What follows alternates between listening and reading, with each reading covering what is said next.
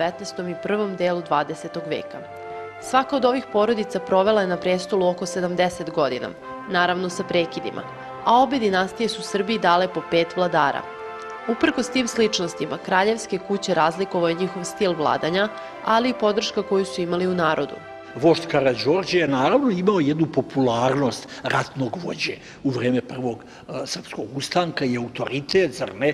Ali napuštanjem Srbije 1813. godine on je izgubio popularnost i autoritet prirodno. Sa druge strane, knez Miloš ostaje upamćen kao naručilac ubistva svog kuma Karadžorđe, ali i kao najbogatiji trgovac svinjama na Balkanu i veoma lukav političar dugom diplomatskom borbom, on je uspeo da obnovi tu Srbiju, da je proširi, da on je napravi autonomnu kneževinu koja je bila osnov kasnije nezavisne srpske države. Obrenovići su baš ušli u modu, tako kaže veliki naš istoričar, Slobodan Jovanović, krajem 50. godina 19. vijeka, Obrenovići su bili u modi. I da znate da to nije puka reč, to je tako i bilo. Milovšev sin, knez Milan, vladao je samo 25 dana i upopćen je kao vladar sa najkraćim periodom vladavine. Nakon Milana na prestu dolazi knez Mihajlo, koji ulazi u istoriju kao vladar koji je modernizovao Srbiju. Knez Mihajlo također jedna u osnovi popularna ličnost, znate što oslobodio je gradove na kraju Srpske e, tu, od turskih posada, uzdigao Srbiju na jedan viši nivo, zrali u svakom pogledu, osnove narodne vojske, osno, e, novim zakonima osamostalio Srbiju, politikom Saveza, zrali, širom Balkana i tako, e, no, on je tragično nastradao kao žrtva jedne zavere, E sad, pazite, knez i kralj Milan, možemo reći da je uspeo da utroši dosta od tog kapitala koji je dinastija Obrenović bila stekla. Pomalo ga je narod doživljavao i kao stranca, znate, on je došao ne znajući naš jezik. Zašto nije kriv majka Rumunka, stric ga školova u Parizu, oca praktično nije ni upamtio, znate. On je bio inteligentan čovek, ali nedovoljno vezan za Srbiju. Još manje voljen u narodu bio je kralj Aleksandar Obrenović, koji je nesrećno skončao u majskom prevratu. Nasuprot Aleksandrovoj mladalačkoj plahovitosti, umerenost već vremešnog kralja Petra Karadžorđevića, narod očekuje sa puno naklonosti. Ostao e, upamćen kao čikapera, kao demokratski kralj, što je on u najvećoj meri bio. Tu je, e, da kažemo, e, koren njegove popularnosti. Njegov sin, Aleksandar, ostaje upamćen kao ujedinitelj i kralj Srba, Hrvata i Slovenaca. Mi ne možemo tačno znati koliko je regent i kralj Aleksandar zaista doprineo pobedama srpske vojske u Balkanskom i Prvom svetskom ratu, ali on je stalno sa vojskom bio, što bi rekli patetično, jeo je taj vojnički hleb, izlazio na prvu liniju fronta, uvek je nosio uniformu. Jasno je da su i jedna i druga dinastija imale i velike i male vladare koji od njih je bio najbolji i šta bi bilo da je neka od dinastija ostala na vlasti, možemo samo da pretpostavljamo. E, vidite, upoznali smo već našeg današnjeg gosta, ja kažem i domaćina.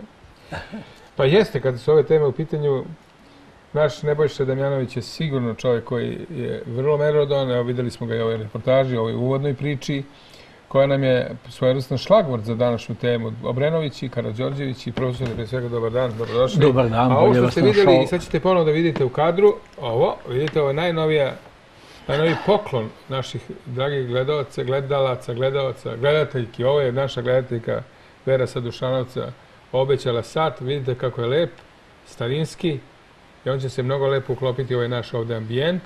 Pošto kaže da se razboleo i da je potrebno da ide kod lekara i nema nikakvih unutra čipova i ide do zvonce ima. Hajde zvoni malo. Nećeš. Čekaj da ovako. A šta da vam kažem? Ne može ovo. Bling, bling, bling. I just... Aj, tako da. A ovo... Je da lepo? E, vidite, taj mnogo lepi poklon smo dobili od naše Vere Sadušanovca, ovaj starinski sat. Ja ću ga naravno sada staviti ovde, sad mi ne ispadne ove moje za kačaljke, evo ovdje će da budeš ti sada, tu budi dobar, nemoj da mrdaš odatle i ponekad pokaži neko tačno vreme, ne moraš to često odradiš, ali eto tako još jednom se zahvaljujemo. Šta da vam kažem? ovako mi je puno srce kad ovako krene emisija. Došla gospođa ovde, kaže, nešto, ja sam obećao, rekao je. Vidite, je li zabeležio novu istoriju nekada? Boga mi mislim da je te, nauka. teško naći sličan primjer. Je da. Dobro, mi smo na- nama ovaj, danas odredili priču, juče smo se čuli. Mislimo da je strašno zanimljivo, bar ja mislim kao laik da je to strašno zanimljiva tema. U našoj porodici smo konstatovali da bi možda moglo malo više se priče kada je školstvo u pitanju, kada je ta edukativni segment u pitanju, kad su naše deca u pitanju. Ali zato ste tu da možda tu, ne, ajde možda, vi se možda nećete složiti, tu nepravdu malo ispravimo Obrenović i Karadžorđević. Dve dinastije, je li tako, Da. koje su obeležile istoriju srpskog naroda. Pa, n- u 19. i 20. To, to, veku, to, znači novovekovnu, obnovljene Srbije i Jugoslavije svakako.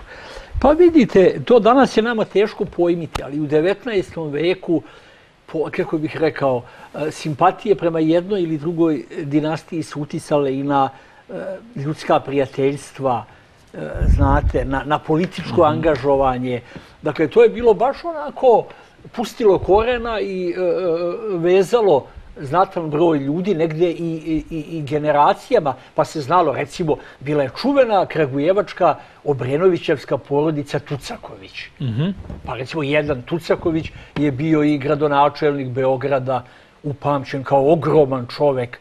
Znate, upotrebljavali su ga u nekim delikatnim situacijama, kažu kad se pojavi, onako ogroman, pa veže neku veliku sablju, a imao i gromovit glas, Jel on je delovao i svojom pojavom, znate. Od dinastije Tucakovića ja jedino e, poznajem Marinu, ali ona izgleda nije u toj priči. Ona je neko...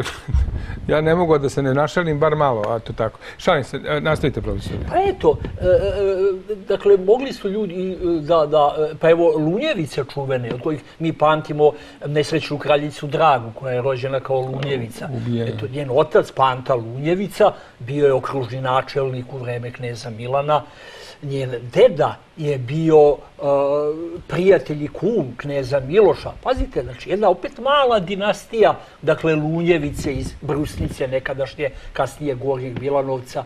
Bilo je porodica koje su i menjale, uspevale da promene tu orijentaciju, odnosno da služe obema dinastijama, eto kao porodica Garašanin čuvena, koja je stradala od Obrenovića žestoko, Jeste, jel? da, bar, eto, otac i brat čuvenog, najčuvenijeg Ilije. Ilije Garašanina, njih su ubili Obrenovići. Glave im natakli na To kolac. je nisu valjda. Ne, ozbiljno Kao. Turci, na najgori način. A surova, surova su vremena, znate, bila u vreme naših pradedova. E, Međutim, Ilija je služio posle knezu Mihajlu. Bio veran ministar Pored svega. pored svega i posle svega. Ovo su neobični ovako, rekao bih, primjeri i to je nama, evo već e, prisutnim u 21. veku, nekako i neobično, da, e, tako, jel, 1945. naravno monarhija je bila ukinuta, živjeli smo u nekom drugom poredku, a, imali smo novog vla- vladara koji je, kako bih rekao, zahtevao punu pažnju, jel, poznatog maršala.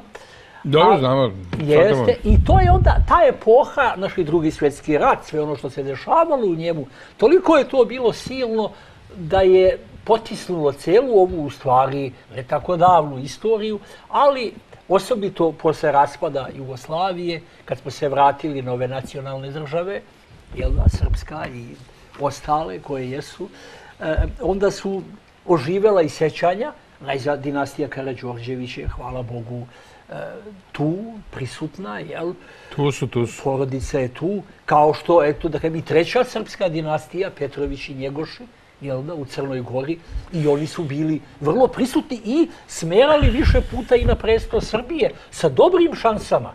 Knez Nikola nije bio bez šansi da bude izabran za kralja Srbije. Stvarno? Pa da, kao veliki Srbin, kao ruski štićanik, imao je dosta, onda uzmite, u Srbiji je, osobito u 19. veku je to bilo živo, e, veliki broj stanovnika poreklom sa teritorije današnje Crne Gore i Hercegovine. E, Tako da, Tako da nije se desilo, a moglo da se dogodi. moglo je da se dogodi. To je vrlo interesantno što pričate, Pa profesor. eto. Pa sta, tu, tu smo zato, to jest tu ste vi zato da, naravno, da. neke stvari ovako otvorimo i da možda neke po prvi put čujemo, što je fantastično. I što je tužno. Hvala. I jedno i drugo. I jedno i drugo, nažalost. Ali shvatit ćete, dragi gledalci, zbog čega to kažem. Naravno da je tužno ukoliko mi ne poznemo zbog naših sistema školstva i zbog nekih ko zna kakvih političkih previranja i kuvanja, ako tako mogu da kažem, i na međunarodnoj domaćoj sceni, mi ostajemo uskraćeni za nešto što ne bi smeli, ne bi trebalo da bude tako. Izvolite vi sada, dobar dan. Halo, dobar dan. Izvolite. Nešo Milan Bilbez, Republike Srpske, Prijedor, Miška glava. Ja pozdravljam vas i vašu gosta istoričara. Pozdravljam vladu e, Republike Srbije sa e, predsjednikom Vučićom i da bi bilo sve najbolje u, i za srpski narod. Želio bih istoričaru po, postaviti jedno pitanje. Za, a ja mislim da je to za srpski narod bilo negativno, a on kao istoričar neko govori meni na pitanje. Naši kraljevi i svi koji su vladali Srbijom od od davnina, da ne, ne vraćam se, ja ne govorim istorijski, recimo primjer, e, ja mislim da su napravili grešku što su uzmeli te manje narode u svoje okrilje uh, u, u staroj Jugoslaviji, poslije u novoj Jugoslaviji, uh, mi smo imali veliku Srbiju, nekad imali more i svašta nešto, ovaj, meni je žao da ti narodi koje je Srbija nekad čuvala i štitila, danas nami faktički daju nož u leđe. Ja nisam nacionalista, nisam ekstremista, ja sam nacionaldemokrata. Eto, lijep pozdrav, teško je doći do veze i molio vas ako je moguće da što više uključite naših, naših gledalaca, jer ću čuti nešto dobro od njih i mnogo ih puta poslušam kad ne mogu dobiti, oni su mi melen na ranu. Hvala lijepo i lijep pozdrav. Hvala puno, niste rekli kako je vreme u Prijedoru? U Prijedoru je jutro bilo maglovito, nešto magla, a još u Prijedoru leži vamo miska glava i ova sela oko do Grmeća, između Grmeća i Kozare, oni su već u suncu, kupaju, a ovi se u magli. Lijep pozdrav još jednom. Još jednom i vama svi pozdravi odavde iz Beograda, e, oni koji nas plati preko BN televizije i, i odande, naravno iz Bijeljine. A ja znam da se ova emisija gleda globalno, prema tome da god da ste, bez obzira, a u Australiji negde sada šest i 15 u, u Americi, u Ohio, recimo, 5 i 15 ujutru. Ovde uveče, ovde ujutru. Doktore, pokrijemo sve moguće vremenske zone. Divno. Doktor nauke, kad je u pitanju istorija, ja to tako... Blagodarim, razumeo sam, razumeo sam. Da ne bude nesporazuma. Za ovu oblast, dakle, tu nemamo, tu, tu imamo sad specijalan tretman. Da se vratimo na, našim dvema. Ja, ne, ja kažem, ja sam lajk, zahvaljujući pre svega, nikada nije nedostojno interesovanje za tako nešto. Ali smo nekako bili, ja to ne mogu da ne kažem, uskraćeni. Kažem, porodično smo išli kad je bila noć muzeja u muzej. Tamo posjetili smo Obrenoviće. Međutim, sam čovjek koji tamo radi rekao da nije pretredno srećan posjetom, odnosno da bi to moglo da bude daleko više. Šta, šta sad vi kažete?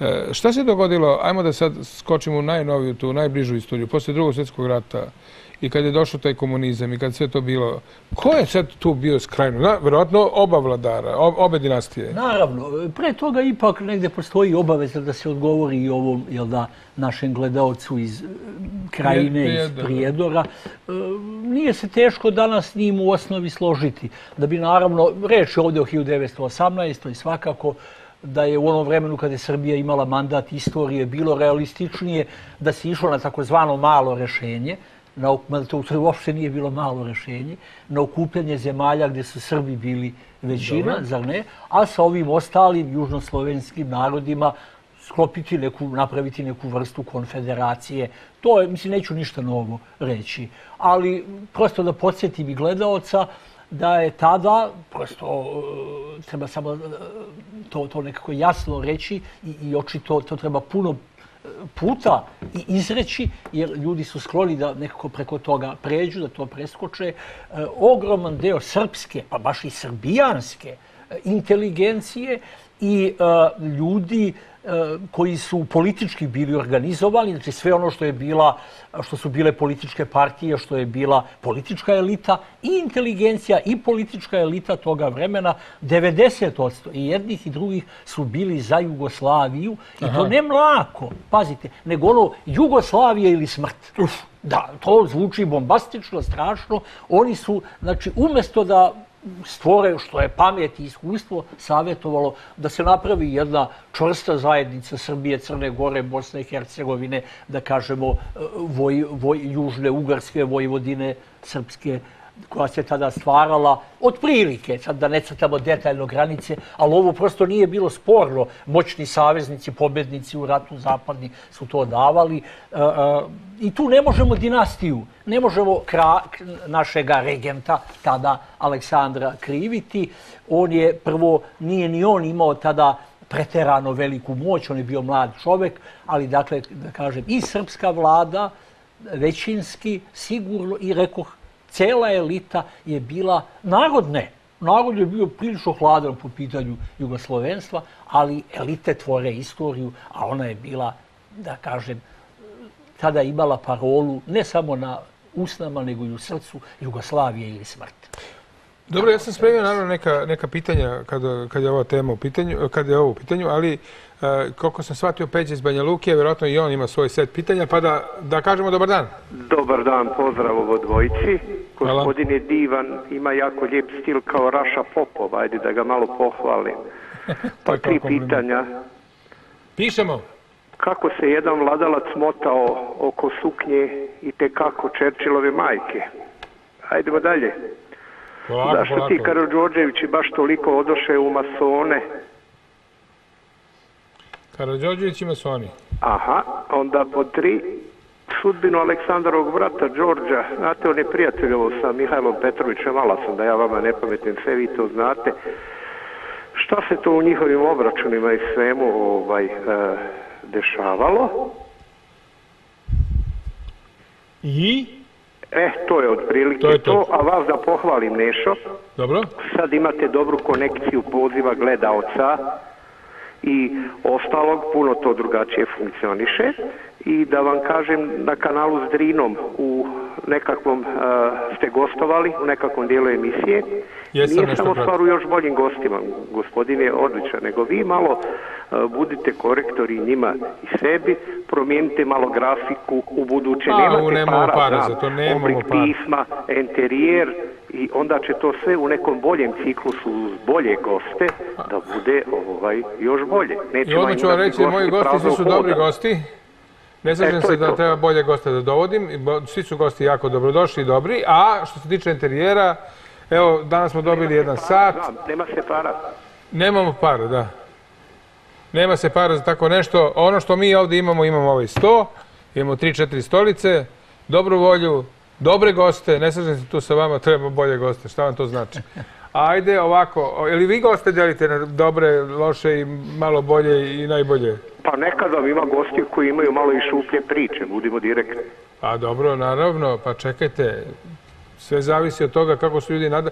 Nisu svi uvek isto raspoloženi, znate, ali e, nekako to mi uspevamo da da ovom našem časkanju prebrodimo ako dođe do takve neke krize, mini krize. Hvala puno u svakom slučaju. je vreme? kako je vreme u Banja Luci? Vrijeme je ovdje lijepo i Milan Bilbija je čovjek iz naroda, pustimo ga, neka on bude, on nije hibrid kao zmaj od šipova, prijatno. Ajde ćemo, nas dvojica, a to su, ali meni to genijalno i fenomenalno. E sad ovako, ajmo da se vratimo ovim pitanjima e, našeg peđa iz Banja Luke. E, šta, ko se to motao oko suknje Čerčilove majke? Šta, šta, šta kaže? Znate, to je, kako bih Pa dobro, je to istina ili- pa ne, imamo to, preskočiti. Nemojte, Pa, molim to- vas. Ovo je, ovo je, kako bih rekao, takozvana istorija kroz ključaonicu. A to su okviri. Jeste. Ovo je ono što e, očito je no, na, naš gledalac, jel, kao i mnogi, e, nailazio na te feljtone, to, to je tako povremeno, pa tako u ponekom listu e, e, piše, jel da... Da je Čerčil naše gore list. je da je piše? upravo upravo tako Eto i, vidite. i ne znam e, da je, da je Churchill u stvari zar ne to Churchillović? beše da poda vezan sa Josipom Brozom Pa jeste bio vezan. pa sve to A vole je Josipa Broz? pa on ga je Više ga podržao vole od, od politički. Draževića. da, da, to da, to, ste To u trenutku To nije sporno. nije spor. To nije sporno. Međutim, znate, pokušava, to je taj pokušaj da se istorija e, protumači e, tim, e, eto, navodim, otkrivanjem nekih tajni. Znate, takve stvari se ne mogu demantovati, jer se ne mogu ni dokazati. Znate, ko je nečiji tajni otac, dobar deo američkih serija počiva na tome, jel da... A DNK? Pa, pa čak i DNK bojim se da ne bi tu mnogo pomogao. Onda znate šta, i, i, i da se provede taj postupak DNK. Uvijek će neko da tvrdi, da, neko će da tvrdi da ni to nije korektno urađeno, jer je naravno neka moćna loža dala pare, pa je... Tako da vi tu ne možete racionalno, a nema ni potrebe. I odgovor na to pitanje je? Da, pa odgovor e, je naravno da je to ovako jedan ipak trač. Da, Trač, Da odlično. nema osnove nikakve. Opa, mi ćemo da postavimo ona emisija između trača i istine. Pa recimo. Pa to i uvijek ima toga. Pa dobro, što da ne? Ajmo ovako, ajmo ovako. Imamo još dva podpitanja. Dakle, e, Masoni Karadžorđevići i ne znam oko neke obračune kada je Đorđe, brat, u pitanju. Da. Ali ajmo to da sačekamo, zato što neko čeka već e, dugo, pa da ne čekate dugo. Izvolite. Dobro jutro i pozdrav za Nešu i njegovog gosta. Dobro. Njegov gost ima ime. Bo, da, da, gospodina Damjanović. E, tako, hvala puno. Izvolite. Ovaj, Boži, Božidar iz Zemuna. Izvolite, Božidare. Pa evo ja sam se e, kroz moje poreklo porodica dugo bavio porodicama Karadžorđevića i Obrenovića. I jako malo naš narod zna da Karadžorđevići vode poreklo od plemičke porodice Vojnovića, a Obrenovići da vode poreklo od plemičke porodice Brankovića. A, Dalje, e, jako dosta se špekuliše oko raznih stvari, ali bih uvek preporučio našim ljudima da pročitaju ono što je pisao Milan Đe Milićević koji je živeo u njihovo vreme, naš čuveni istoričar, pisac, književnik i, i čovek koji izuzetne pameti, koji za sebe ostavio sve priče i o Karadžorđu, i o Milošu, i o Mihajlu, i o svim našim e, poznatim vladarima tog vremena. I zato ja recimo kod sebe imam e, rodoslove i jedne i druge porodice rađene prema istraživanjima naših akademika i stručnih ljudi, ali interesantno je da ni jedni mediji nisu pokazali interesovanje da to tu recimo e, granu porekla pogledaju, da objave i da narod vidi od koga stvarno vode poreklo ove dve naše divne plemičke porodice. Gospodine, svak, hvala vam na, na uključenju. E, nešto ste rekli što je meni e, nekako se uklapa u ovu moju tezu, da nisu zainteresovani. Zašto nisu zainteresovani, to smo malo pokušali da elaboriramo, ali hajde sada da se vratimo na ove dva još Jeste. pitanja. Masoni i Karadžorđević i sve više Pa kažem. ćemo onda... Ono, Pa ćemo o- malo o- da se... Idemo redom. Ajmo. navodnom plemičkom poreklu. Tako je. A, da, O, Vojnović pa, i, i, i, jeste. i Branković. Upamtio sam. E, ajmo, pa ja sam zapisao. Hvala, šta? Profesionalno, naravno, novina. Ajte da čujemo sada ovo. Masoni. Masoni. Dakle, to je nastavak onog prvoga, jel da, ko je kome tajni otac i tako. Ovaj, masoni svakako nisu izmišljeni. Oni postoje, te lože postoje od početka 18. veka i utiču. I sigurno da su imale uticaja i na stvaranje Jugoslavije, ono 1918. Znamo mi, nije to nikakva tajna, da su mnogi istaknuti delatnici bili e, pripadnici, za mnoge se ono osnovano pretpostavlja. Ali znate, ne može se samo tim, Bog zna šta, objasniti. Postoje i, e, e, kako bih rekao, postoji ta velika pozornica dešavanja, postoje te ozbiljne socijalne snage, postoje taj veliki rat, postoji jedan i drugi u, u 20. veku. Tako da, e, znate, ta masonski, taj udeo i kad postoji, recimo evo jedan detalj, no, recimo, objavljeno je da je Josip Broz Tito, tada kao ono generalni sekretar tajne i zabranjene komunističke partije da. Jugoslavije, javio u Moskvu da će biti napad na SSR 22. juna i da je on to saznao preko masonskih krugova, a u stvari to je njegov prijatelj dr. Ivan Ribar, otac Ive Lole Ribara, koji je bio mason visokog stepena svakako. Jeste, jel? Da, ali znate šta, javljao je to iz Orge, zar ne, iz Japana, kao što znamo. To je jedan ovako detalj, u tome je pisano.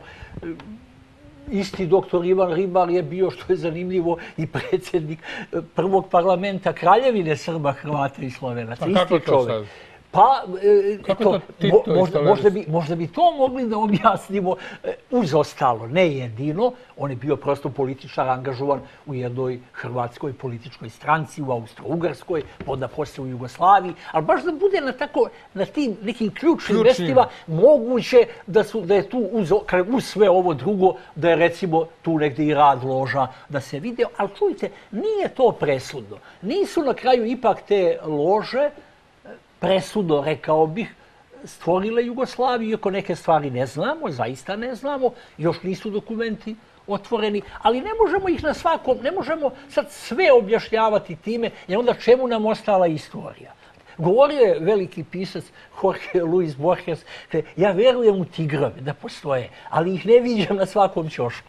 Znate, Znači, onda mi se liši, onda nam ne treba ni da studiramo ništa, ni, ni da izučavamo, ni da se ičim bavimo, onda samo očekujemo saopštenja loža, ali naravno ne treba ih preskočiti. Deluje to, to, kako bih rekao, to su u stvari neka elitna udruženja, hajde moderno, kao što su sada ove razne grupacije i tako. Deluju e, oni, ali deluje i mnogo šta drugo. Znate, kao što oni deluju na svet i razvoj sveta deluje na njih. Pa i oni tu biraju gde će se opredeliti. Mislim, složenije, komplikovanije nego što bi se reklo. Ajmo sada da, i treće pitanje koje je Peđa iz Banja Luke ovaj, čačno. E, ajde ovako, Đorđe, e, brat i neki sukobi obračuni. Da, pa vidite, to, o tome dovoljno znamo. Đorđe je bio prek čovek, Đorđe se slabo, kon- princ Đorđe, se stariji sin kralja Petra I, on se slabo kontrolisao, on je toga bio svestan. Jeste, on je sam negde rekao, pa kaže, ja nisam za princa, citiram Đorđe, a kamoli za prestalo nasled. Jel da? To je prosto toga bio svestan. E sad, u kojoj meri je bio bolestan, u kojoj nije, sasvim zdrav nije bio. To je sigurno i to je ključno. A njegovo prijateljstvo sa Mihajlom Petrovićem Malasom, ono, to je postojalo. Znate, tu ima jedna, prosto rekao bih, e, nečija ružna inspiracija da tome nužno, pri čemu se, kako neću da kažem, e, danas je osobito vrlo čak i opasno, e, dakle, a u svakom nekorektno iz, izvesnu vrstu seksualne orijentacije nečim ružnim kvalifikovati, ali hoće se reći da je to bila i homoseksualna neka veza. Znate, nema nikakvog dokaza. Čekajte, čekajte, polako. Ako ste Veza Mihajla Petrovića Alasa i princa Đorđa, njihovo druženje, prosto deo čaršije je tome hteo da da i taj smisao. Mislim da to stvarno, pre svega nije korektno prema velikom naučniku Čekajte, čekajte, a jeste, ali, Mihajlu ali ako ste me sad zagolicali, molim vas da me počešete. E, molim, molim, izvolite. Pa počešite me, znate još neku, još neku informaciju. To. Jesu li bili gej ili nisu? Ne, nema Znate zbog čega vas pitam? Nema dokaza, a opet kada Pa poštujemo to sva ništa, ajde, opredeljenja, ajde ne mislimo da je to nešto ružno, Tako ali je. ružno je a, insistirati na tome kao na jedino važnom ili kao na sigurno postojećem, a pri čemu nema dokaza. Dobro. Dobro, ne samo kažem tako, znači da, da to ne anatemišemo ljudi zbog tako neke Da, stvari, da, sigurno jednostavno ne, nikada to nisu to zaslužili. poštovati uvek. Tako je. Imamo nekog pored telefona, izvolite, sada ste vi na redu. A imali smo i ono... ovo- Ali nemamo više pukla veza, još ste mi to zvao, da ne možete da verujete. Imali Neko smo, čeka- jel tako, ono poreklo Imali, sad ćemo, sad ćemo samo polako, polako. Verujte mi, sve držim pod kontrolom. Ja možda ne znam tako te činjenice koje vi znate, zato ste tu. Ali zato sam zapisao Vojnovići i e, Brankovići, Yes. dve, ajmo o tim, o tim Pa da. lozama. Pa vidite, to je opet, kako bih rekao, nešto je pisali u novinama, ne znam. Pa jeste. Mislim, ja se stvarno udivljujem kako ljudi tako to sebi objasne, mislim, znate, i onda tako istupaju sa tim kao sa čvrstim činjenicama. Lično bih voleo da je e, gledalac u pravu, pošto staro prezime moje majke jeste Vojinović. Je, baš. je, za, staro prezime. To je bratstvo. Vojinovića. Pa gore. nema tog tih prezimena više tako često, jel da? Pa tu i tamo ima, ima, ima baš rođake koji se tako prezivaju. Ali šta sad? Međutim, taman posla da ima tog dokaza, znate. Pa prvo, prezimena su bila u velikom delu srpskog naroda u tom vremenu neustaljena.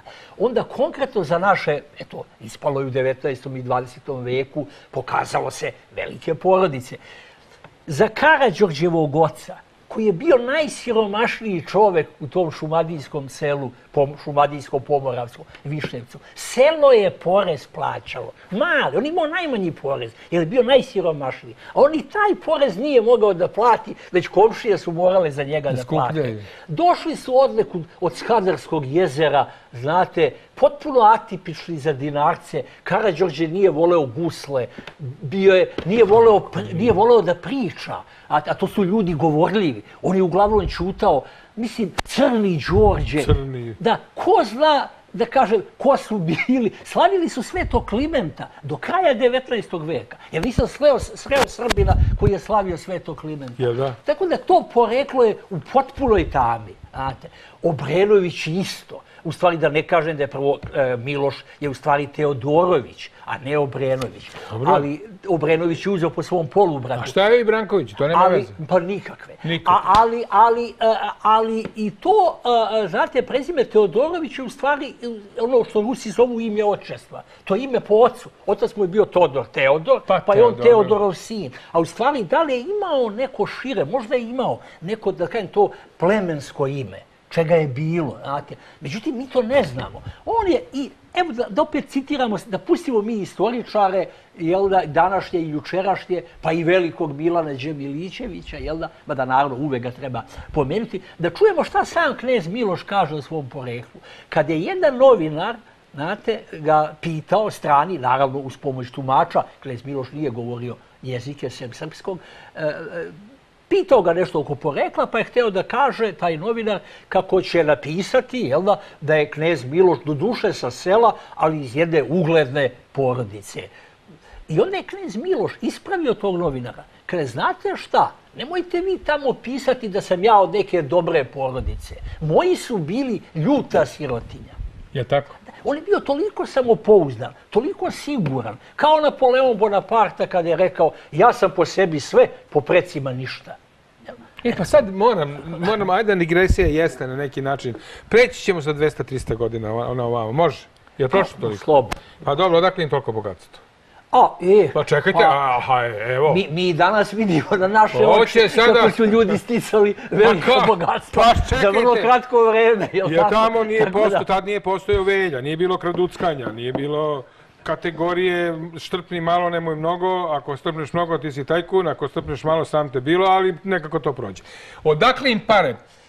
Profesore, Poštovani, evo sad vas to pitam. Knez Miloš kao najmoćniji čovek u A Srbiji... kažete se ljuta sirotinja, On- ljuta sirotinja. Jeste. Pa odakle im pare, koji On je dao? bio knez Srbije. Pa A dobro. on je to shvatao prilično onako privatno. I se vidite što se to tako pita? Ne, ne, ne, meni je to simpatično. A i meni simpatično kako je. Evo, stižu poruke, verujte mi, možete telefonom, molim vas, ako imate tu sreću da dobijete vezu, ja verujem da su zagušene linije, ali, ali dovoljno... Knez Ajde, Miloš, ajde, ajde. knez Miloš dugo nije, ni, ni, kako bih rekao, ni imao posebno odvojene kase, ono, svoju privatnu i državnu. Postojala je jedna kasa koju on smatrao svojom Svojom, i narodnom. pa da. super, pa su to ga je sad isto. Pa su ga tek pri kraju naterali, da kažem, naterali su ga da on to odvoji. I tad se našlo da je njegova bila malo bogatija nego ona državna. Znate, to su takva vremena. Pa tako, šta, ne, ne, to su naivna, nevina vremena, je tako? Nije bilo interneta da nas kvari.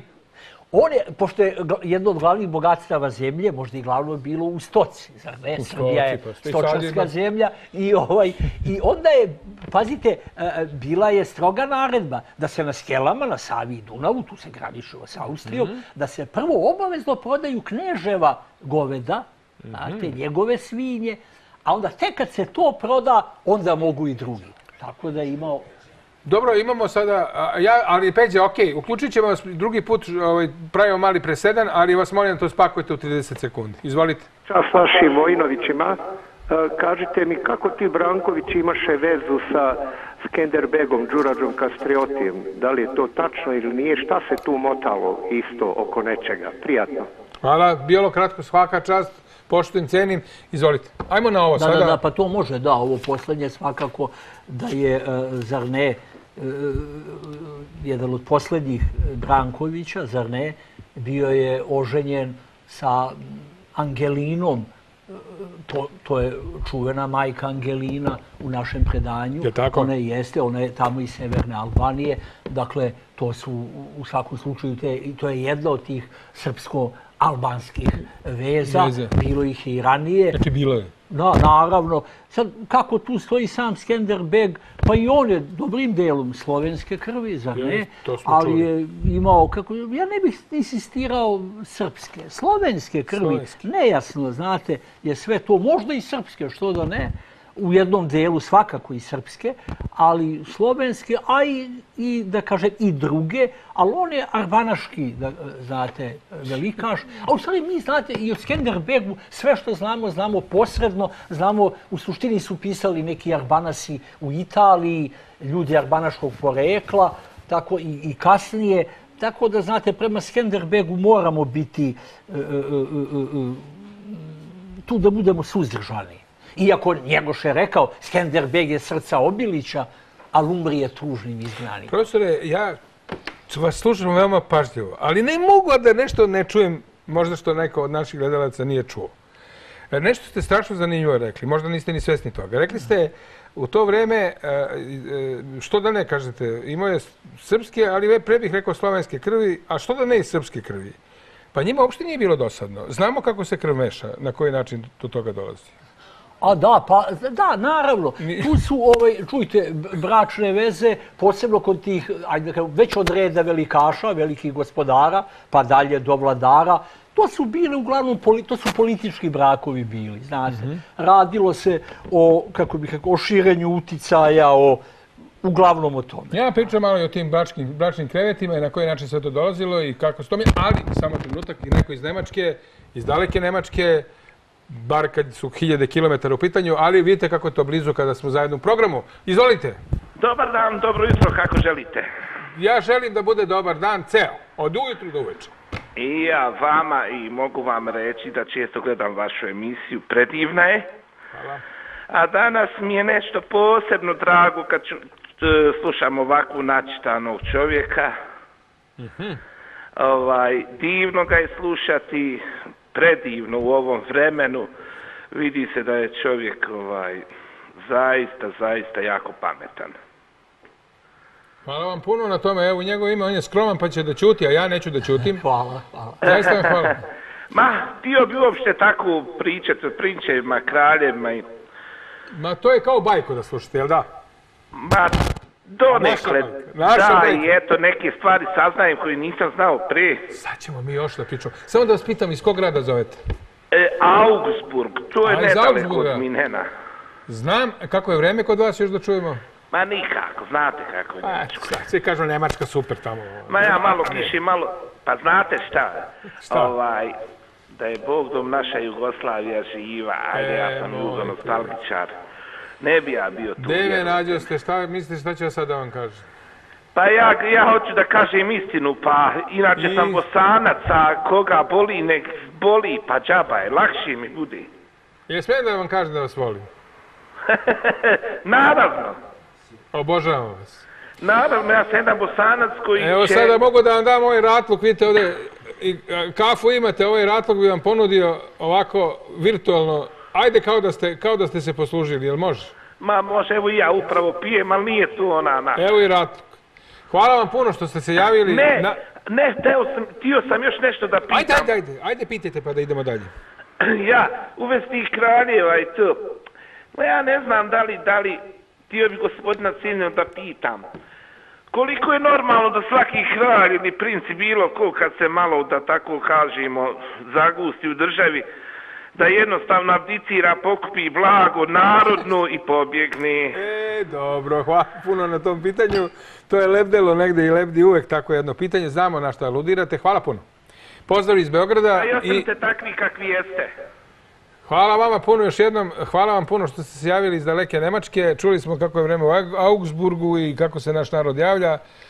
I postavili su, postoji čovjek jedno konkretno pitanje. Je to normalno? e, Čujte, Nije ima- baš. imamo, pa ne mora biti. Imamo naravno ne malo primjera kada su vladari e, avaj u teškim prilikama, iako nije to baš do kraja e, uvek objašnjivo po jednoj matrici, po jednom obrazcu. Znate, zaista su nekada eh, oni koji su bili posjednici krune, zar ne, oni su e, uzmicanjem pred neprijateljem eh, čuvali suverenitet, da kažemo, te države ponekad. Treba vidjeti konkretne okolnosti. Nekad se naravno radilo i o kukovišuku, i o bekstvu, sigurno, i o vrlo sebičnom interesu. Da, da, da, Međutim, da, da, da. ima primjera, ima primjera, evo uzet ću jedan od najslavnijih u 15. veku, kada posljednji paleolog Konstantin 11. Dragaš kaže najveći znalac e, srednjega veka, istorije Vizantije, Georgije Ostrogorski, e, za pomenutog vladara, rešen da ne nadživi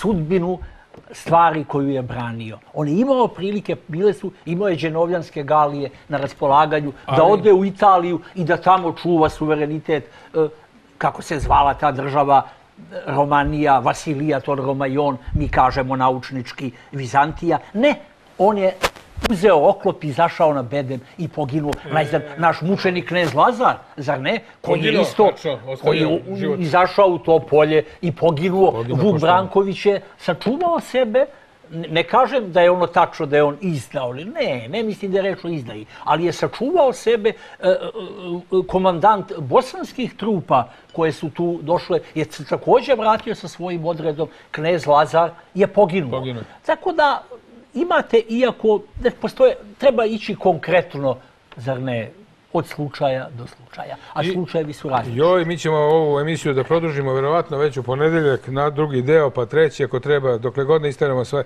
Pazite, ja sam se... Sve, pa šta ću? Pa dobro, naravno, naravno. Pa mi smo se čuli juče i onda smo se dogovorili. I moram da pohvalim profesora.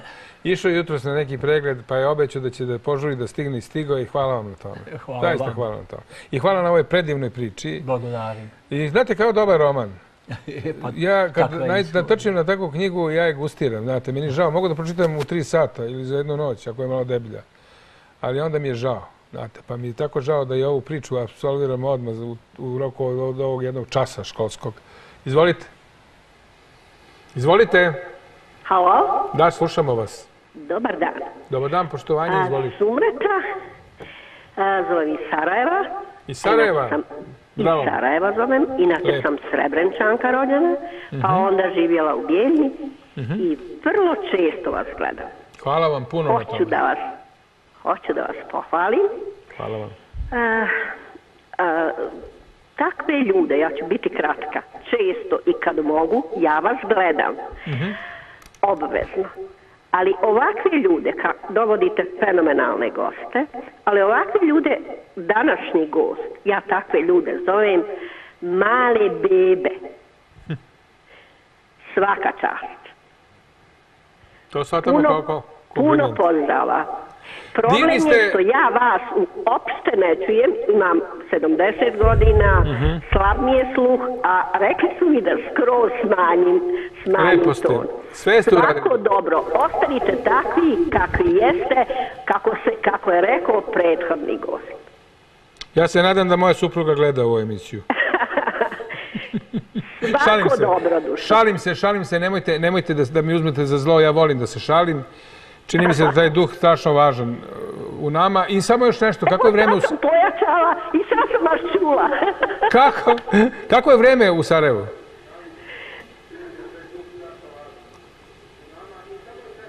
Vidimo da kasni ton. Kako je vreme u Sarajevu?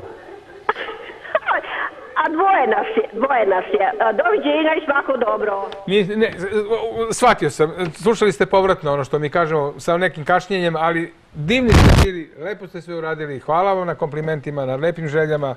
Mala beba ste dobili titulu. Pa dobro, to bi Ali- trebalo da znači da sam naivan. Ali to je, hajde, naivnost je i odlika plemenitog. Ne, ne, ne, to je čistota u pitanju. E, Možda vi to lepo tumačite. Ja to tumačim onako kako je gospođa to rekla. A ona je rekla, on je za mene kategorija male bebe, u najpozitivnijem smislu. Znate, kada se, kad se rodimo svi, mi smo očišćeni od bilo čega. Mi se svi sve fenomenalno razumemo kad smo na nivou jedan mesec. Sve se bebe jako dobro kapiraju. Isti jezik pričaju, isto rade, a kako, to je sad taj paradoks ljudski, kako se vreme događa, tako se oni udaljuju, sve dalje, dalje, dalje. Na kraju se ništa ne razumeju. Voda sve dalje od izvora postaje sve mutnija, jel? Jel ja filozofiram? Pitao se da? pesnik. E, vi ste ta beba. Pristajem da to bude. Oni, pričate drugim rečima, jezik svima razumljiv. Vidite, od Sarajeva, Banja Luke, ne znam ja, Nemačke, Augsburga. Dakle, svima jednako razumljiva priča koju pričate. Hvala vam na tom. E sad, ja, ja, spremio neka pitanja, a obećate mi, obećavajte mi nastavak ove izvanredne priče Naravno, rado. koje smo se zajedno dogovorili da pričamo. A ne, a priče koje se ređe čuju. Karadžorđevići ili Obrenovići, ko je bolje vladao? A da, nema jed- jedinstvenog odgovora, znate. Opet, znam da bi bilo lepo da je nekako, E, e, prosto bi e, bilo, bilo prihvaćenije kad bi se reklo sada, kad bi se opredelio čovjek za jedne ili za druge, mora se ići od vladara do vladara. Znate, tu je jaka jedna predrasuda, evo, kako su Karadžorđevići, ne znam, borbeni i tako, odlučni, ali ne mnogo promišljeni, a Obrenovići su tobože e, previše lukavi, e, u, u suštini neborbeni i tako, ne stoji. Evo, uzimo knez Miloš, koji je bio i jedan hrabar Karadžorđe Vojvoda, lično predvodio oru, e, Juriše, bio ranjen, znate, sko- jed- jedva preživeo ranu kao mlad Vojvoda, e, bio povremeno i surov vladar. Istovremeno on je ispoljio i mudrost. Karadžorđe je također pokušavao da bude diplomata. I te kako, znate, nudio gradove srpske na Dunavu i Savi u trenucima krize Francuzima eh, i Austriji u jednom trenutku, znate, kad mu je bilo teško. Eh, tražio pomoć, naravno, od Rusa sa svake strane, međutim, to nije, to, to nije bilo prihvaćeno. E, tako da, i, i kada sada, hajde, knez Mihajla, kad uzmemo knez Mihajla, znate, kaže se da je e, bio jedan zanesenjak, što je bio, da, ali s druge strane, taj zanesenjak je e, ostvario stvarne saveze e, za borbu protiv Turske. On se spremao za rat, taj miroljubivi naš knez. S druge strane, on je bio, znate, iako evropski džentlmen, on je bio i apsolutistički vladar. Ha, hapsio je ljude za, za najmanju opo, oponentnost režimu i čak je tvrdio da, da je Srbija takva e, priprosta, neuzdignuta kulturno, da se mora vladati čvrstom rukom. On je načelno tako vladao. Ne znam, knez ili kralj Milan, on se kolebao, znate, i od miroljubivosti, i okupljenosti sobstvenom ženitbom, jel da, pa do ratova koje je vodio taj e, taj tako opisani knez, on je vodio tri rata, znate, i gušio jednu bunu. Hoću da kažem, e, s druge strane, i Petar I, kojem je bilo dosuđeno da bude bar formalno vladar u vreme Balkanskih i Prvog svjetskog rata, pa e, Petar I je u suštini bio jedno veliko oklevalo, jedan vrlo u sebe nesiguran čovjek. Što to nije dobro? Pa nije. I to je cijenje. Za vladara to nije dobra kategorija. Mogu vam reći da su njegovi ministri ovako, postoje zapisano u njihovim dnevnicima. Kažu, citiraću, "E, nije dobro da je vladar apsolutista, da sve drži u svojim rukama. Ali kao što to nije dobro, nije dobro ni da nema nikakve inicijative. On je bio mnogo bliže ovom drugome. I onda se kaže sjajni, popustljivi, demokratski vladar. Petar I se u svim kriznim situacijama pokazao kao čovjek bez ideja, bez stava. Znate, Neki je istoričari to- smatruju, ja se izvinjavam, e, da su Karadžorđevići vodili politiku koja se na prvom mestu staralo e, o ekonomskom stanju državi, pa tek onda državotvornosti, dok je Obrenovićima uvek e, državotvornost bila na prvom mestu. Je to tačno? Pa iz ovoga što sam već rekao vidi se da nije tačno, naravno. Jer znate, uzme se jedan od vladara, najviše dvojica, u nekim trenucima, pa se onda prave... Kaže, dalje, dalje, ja čitam neke opaske koje sam spremao, redu, da vas pitam, pa se vi ćete to sad da, da, se ugla- prema tome, Pa naravno. statistički gledano između dve vladarske porodice postoji više sličnosti nego razlika. Je li to tačno? E, s tim bi se već složio. S tim bi se već složio. Je li tako? Težili su u stvari apsolutizmu svi. Od, od prvog do poslednjeg. Nisu to uvek uspevali, ali mislim, znate, ipak je ovo Balkan, ipak je ovo jugoistok Evrope.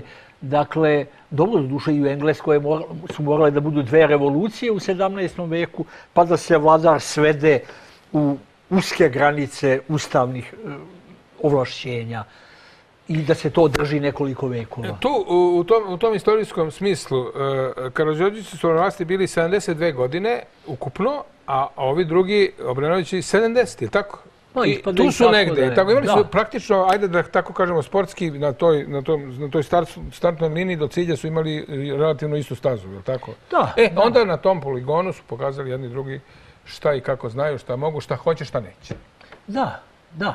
Ne postoji nešto što bih rekao da je, e, kako bih rekao, ona neka odlučujuća nit koja vezuje jednu ili drugu porodicu. Bili su, to su vladari, znate. Oni su na kraju uvek e, delovali u nekom okruženju, i u, pre svega u okruženju neke političke elite i nekih prilika koje su bile. Tako da mi tu njima pre, pripisujemo e, previše, e, kako bih rekao, prostora za ispoljavanje sobstvene ličnosti. Znate. Dobro, recite mi sad još samo, imamo par minuta do, do vesti i do sljedećeg našeg gosta, doktora Vanja Miloševića, spremite vaša pitanja. Ali me zanima, gde su sada Obrenović i Karođorđe, znamo gde su. Pa Obrenovića nema u suštini nema. E. Postoje rođaci Obrenovića. Pa pustite rođake, imamo li mi nekom... I to dalji rođaci, I to koji dalji. se u stvari tako i ne prezivaju, ali koji jesu rođaci i onda e, za svo poštovanje oni negde neguju tradicije, oni žele, osobito u poslednje vreme, da, eto, da učine vidljivim svoje prisustvo, jel? Jakovljevići iz takvog kraja, to je kraj moga oca i mojih dedova, pocu, tako da ja, te je hvala, ja mislim posebno za taj kraj prirodno e, imam tu i nešto više uvida, reklo bi se, i nego kada je možda neki drugi kraj Srbije u pitanju, ali dinastija Obrenović kao takva je ugašena 1903. godine, ovo dalje su, da kažem, rođaci, dalji rođaci, simpatizeri, e, sve to negde čovek apsolutno e, može i da uvaži. Pazite, Karadžorđevići također imaju još bliže rođake. Postoji to nikad nije bilo tajna. Postoje i to brojni potomci, od uvek se znalo, rođenog Karadžorđevog brata Marinka tamo u Topoli, znate, Marinković. Dakle, rođeni Karadžorđev brat od istog oca i majke. Pa sad ima svoje... I oni nisu uopšte nikada smatrani delom dinastije, delom porodice. Oni imaju i posebno prezime. Ja mislim da im je i slava odeljena, jer Karadžorđević su, rekao smo, promenili slavu. A oni jesu krvni i to relativno bliski rođaci, ali nikada nisu bili deo dinastije. Evo, Tako da, ne može se to širiti u beskraj. To se statutom, e, statutom dinastije, statutom vladarske porodice, kako se već to službeno zove, predvidi se ko je potomak, ko je član dinastije. Jel imamo nekog pored telefona ili se dobro shvatio ili nemamo? Već je kraj, kažete, samo kratko. Dobar dan, e, pozdrav vama i vašem gostu. E, hoću da pitam vaše gosta ovaj, njegovo znanje koje on ima iziskuje veliko izučavanje, veliko žrtvovanje, to ljudi ne znaju. Ljudi koji uče istoriju i književnost... Imam dva minuta ukupno, skratite, molim vas, još 15 sekundi moramo da, da kratimo. Hteo sam da ga pitam da li ima svoje naslednike i šta misli danas o današnjem obrazovanju, da, dokle smo i da li ćemo da dođemo u vreme da budemo polupismeni ljudi ili maltene i nepismeni. Hvala, hvala puno, Hvala puno, hvala puno, eto toliko možemo na sam kraj, za sam kraj ove današnje priče i druženja. Kažete? Da, pa znate što, današnje obrazovanje nikad nismo dovoljno, e, dovoljno zadovoljni, je li tako? Ali postoje tu i druge nevolje i ljudi koji steknu neko obrazovanje. Kako ste vi sebe tu ajde tako kažem, žrtvovali, ukrali od života. Da A da, pa znate, ne mislim da je žrtvovanje. Jesam mnogo, ovo stoji, ali uh, mislim, uložio puno, ali ja sam to voleo, verujte, i najradije. Čovjek, e, te, teško da se govori o žrtvi kad čovjek osjeća veliko zadovoljstvo kad to radi. Da, pa ne, biti mislim pošten. na to, ali znate, druženje, pa ajmo da izađemo malo da popijemo neko piće sa, sa prijateljima, pa da se da otputujem negde, da odem negde na more, da na 20 dana planujem. Ali vi tamo da odete, vi ćete dođete u neku arhivu i da gledate šta, kako i šta je, zašto. Pa uglavnom, uglavnom ili nosim neke knjige uvek i tako, Eto posvećenost onako puna. Niste vi, niste žrtvovali, shvatili smo to, profesore. Hvala vam puno što ste tako kakvi jeste i što ste našli dovoljno vremena za naše gledalce, pre svega naravno, pa i za mene na neki način. Čovek uči dok je živ, a od vas može da uči tri života da živi, svašta može da nauči. Hvala vam. Hvala vam puno. Hvala.